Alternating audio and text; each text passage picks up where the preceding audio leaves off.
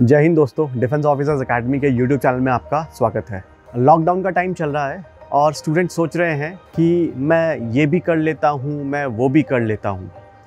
कुछ बच्चे जो कंपटीशन की तैयारी कर रहे थे, आज वो सोच रहे हैं कि मैं ये एक दूसरा कोर्स भी कर लेता हूँ। देखिए, जो टॉपिक आज के वीडियो का है, वो है फोकस ऑन वन थिंग मैं क्यों कह रहा हूँ फोकस ऑन वन थिंग क्योंकि अगर आप अपनी एनर्जी दस जगह लगाएँगे तो आपको रिज़ल्ट नहीं मिलेगा।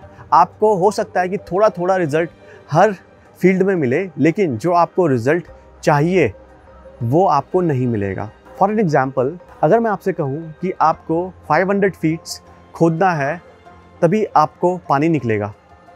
लेकिन अगर आप उसके बदले 100 100 100 फीट के पाँच गड्ढे खोदते हैं अलग अलग जगह। मैंने आपसे कहा था कि आपको 500 फीट्स खोदना है, तभी पानी निकलेगा। लेकिन आपने हंड्रेड हंड्रेड फीट्स के पाँच गड्ढे अलग अलग जगहों में खोदे। लेकिन आप कह रहे हैं, नहीं, मैंने तो 500 फीट खोदा था, लेकिन पानी तो आया नहीं। तो इसीलिए मैं आप लोगों से कह रहा हूँ कि फोकस जो आप रखें, वो एक चीज़ में रखें। अगर आप सोच रहे हैं कि मैं कंपटीशन की तैयारी करूँ तो कुछ टाइम जब तक आपका एग्ज़ाम नहीं आ जाता, किसी और चीज़ पे ध्यान लगाने की ज़रूरत नहीं है। आप सिर्फ़ और सिर्फ़ अपने कंपटीशन में ही ध्यान लगाएँ। जब आपका फोकस एक जगह होगा तो डेफिनेटली आपको रिज़ल्ट आएगा।